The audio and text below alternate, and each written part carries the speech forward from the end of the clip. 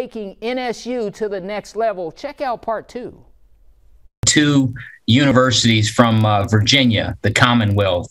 Uh, as you get an opportunity to play a team uh, out of Lynchburg, um, talk a little bit about that process and how special that can be. Again, it's the HBCU legacy. It's always good. Um, I think it's always great to be able to play, no matter who the opponent is, and I think some of our process is all about focusing on us. We try to figure out what a team is doing and then how can we go about being the best at what we do and get prepared for the team that we're playing.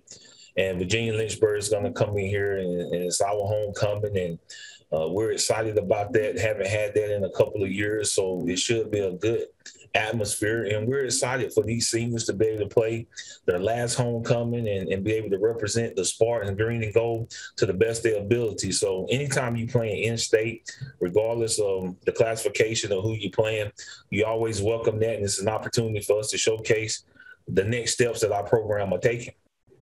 Thank you, Coach. HBCU football scores for you in SIAC action. Savannah State 49, Clark Atlanta 14, Kentucky State University 76, Edward Waters 36. Tuskegee does it again. They win it 29 over Central State, Ohio, nothing. And Miles College outlasting Lane in a good game, 34 to 31. All right, finally it's time for our King of the Hill. He is a two-time World Series champion. He's also a two-time Silver Slugger Award winner. David Justice is our BNC King of the Hill. David, Christopher Justice was born April 14, 1966 in Cincinnati, Ohio. He made his major league debut back on May 24, 1989, wearing an Atlanta Braves jersey. His baseball career includes starring in the American League and balling out in the National League. Justice played in the big leagues from 1989 through 2002.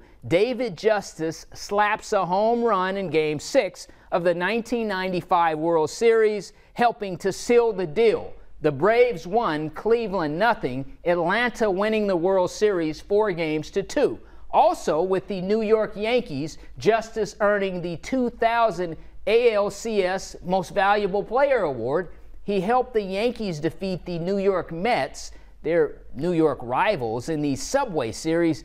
David Justice is our BNC king of the hill. And I also have to throw this in, mm-hmm. you know, mm-hmm. back in the day, he was married to one of the uh, most beautiful all time Hollywood great actresses.